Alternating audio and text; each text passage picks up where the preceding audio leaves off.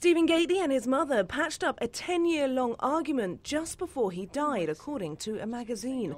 The Boyzone singer spoke to Reveal magazine two weeks before his death and said he had gone to Dublin to make peace with his mum. They fell out in 1999 when she gave an interview to a tabloid newspaper on the day he came out as being gay. Gately told the magazine that there were tears when they made up, and he told his mum he loved her very much.